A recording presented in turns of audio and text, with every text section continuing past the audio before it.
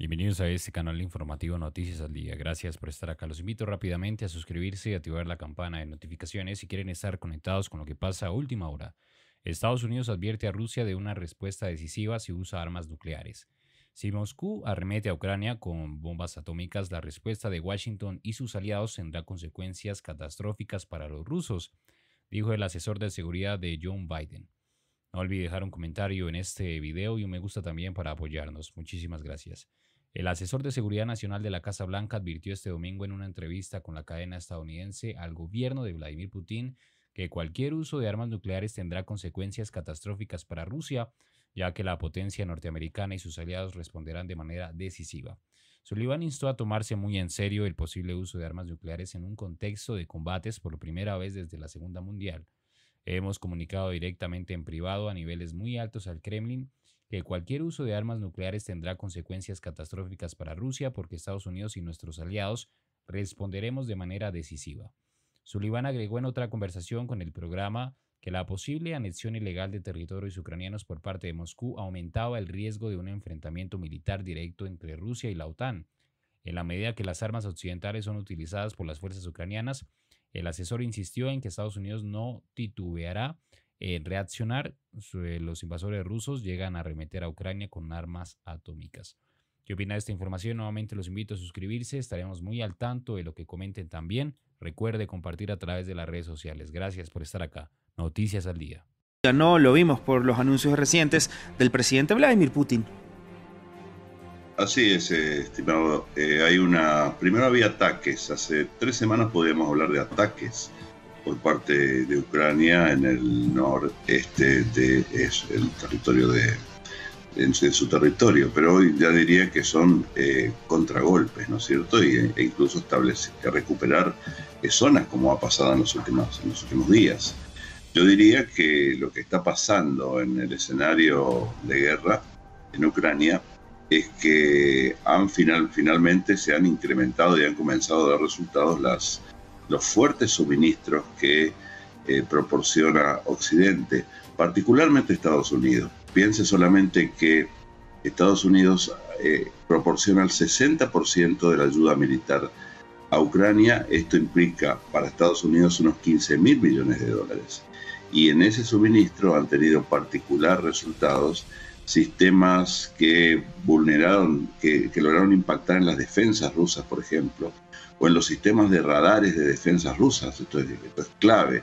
Y de alguna manera esto ha generado una situación de incremento de la voluntad de lucha del pueblo ucraniano y aparecieron algunos, evidentemente algunos problemas relativos con la logística, relativos con el número, la cantidad de soldados eh, para Rusia, que desde ahora para mí va a intentar hacerse fuerte en las zonas que ha conquistado.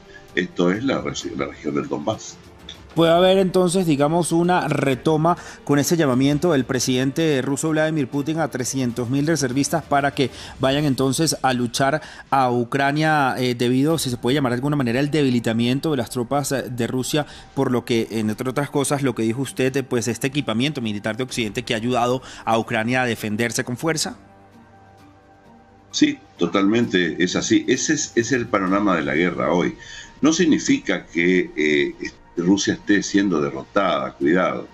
Eh, tal vez el objetivo principal de Rusia en esta guerra haya sido precisamente controlar la zona que controla, que es una zona muy importante, la región más rica de Ucrania. Pero claro, se le están presentando problemas relativos particularmente con, con, con la cantidad de soldados, pero también con la vetustez de su doctrina militar. Esta es una doctrina militar que ha sido reformada, pero que es herencia de la época soviética y tiene el punto de gravedad eh, fuerte en los sistemas de artillería, es decir, en las rupturas, en la destrucción, es romper el frente enemigo y esto es lo que ha venido haciendo Rusia, pero como consecuencia de los nuevos suministros, de, particularmente en los últimos tres meses que ha recibido Ucrania, Ucrania ha impactado en los sistemas particularmente de artillería, de, perdón, de artillería de Rusia. Por lo tanto, yo diría que hay un avance por parte de Ucrania. Alberto, eh, pues yo le quería preguntar eh, sobre problemas internos que pudiera tener en este momento eh, Vladimir Putin, digamos, no sé, dentro de su gobierno, dentro de la cúpula militar. Ayer también quiero sacar a, colación en este espacio, pues estas declaraciones fuertes y contundentes del presidente Vladimir Putin. Yo creo que desde que comenzó la guerra, pues no lo había visto, digamos, tan amenazante, sobre todo con el tema nuclear. Dijo, pues que tuvieran cuidado, que Rusia no iba a escatimar, digamos, a la hora de defenderse, a la hora de defender sus ideales y su territorio eh, y pues eh, habló de que este arsenal nuclear desde Rusia o, cualquier arma nuclear podría entonces eh, mirar a Occidente, haciendo referencia obviamente con todos estos países europeos que están apoyando a Ucrania y países de la OTAN. Así es, estimado. Estoy mal de la voz. No se preocupe, Alberto, tranquilo. muchas conferencias estos días. Mire, lo, lo, que está pasando es que efectivamente hay un problema con, la, con el personal. Pero acá voy a arriesgar un escenario que puede estar detrás de las decisiones de Putin en función de lo que usted acaba de decir sobre el discurso. Eh, quizá lo que busca Rusia a partir de ahora es incorporar estos territorios que controla al territorio de la Federación Rusa. Para ello quizá se produzca una suerte de, escenario como, que, como el que pasó en, Crimea, referéndum, ¿no es cierto? que lleven estos territorios a la soberanía o la incorporen al territorio de Rusia. Esto no va a detener eh, la voluntad de lucha de Ucrania, pero si es así, si estos territorios pasan a ser parte de la Federación Rusa, entrarían dentro del, del, sistema de reserva mayor militar de Rusia, que son las armas nucleares. Y este ya nos lleva a un escenario que no conocemos, pero el objetivo sería un poco este, ¿no es cierto? Tratar de que se repita en el Donbass lo que ha pasado en Ucrania en 2014. Pero es que Alberto, sin irnos muy lejos, también quería ahondar en ese tema porque así, digamos, comenzó de alguna manera esta guerra en Ucrania, esta, esta más reciente en el Donbass, ¿no? Cuando se declararon pues repúblicas independientes, Donetsk y Lugansk, y le pidieron entonces pues ayuda a Rusia. Rusia entonces ahí sí ya inició como fuerza esta intervención militar que llama el Kremlin invasión, que lo llama Occidente, pues en definitiva un conflicto eh, militar eh, bien grande que está ocurriendo en ese territorio. Entonces, esto no sería tan también una estrategia, una táctica de Vladimir Putin para anexar entonces estos territorios e irse con toda la fuerza militar eh, contra eh, Ucrania, digamos, eh, en, ese, en, ese, en esos territorios para poder pues tener el control total. Bueno, es un escenario, es un escenario, ¿no es cierto?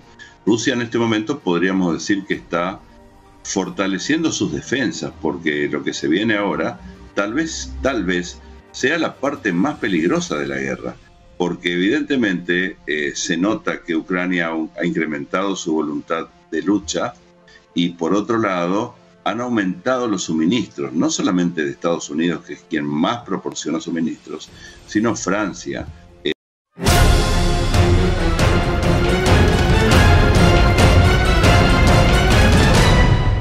Si no te quieres perder de los últimos acontecimientos que pasan en el mundo, suscríbete y activa la campana. Somos Noticias al Día.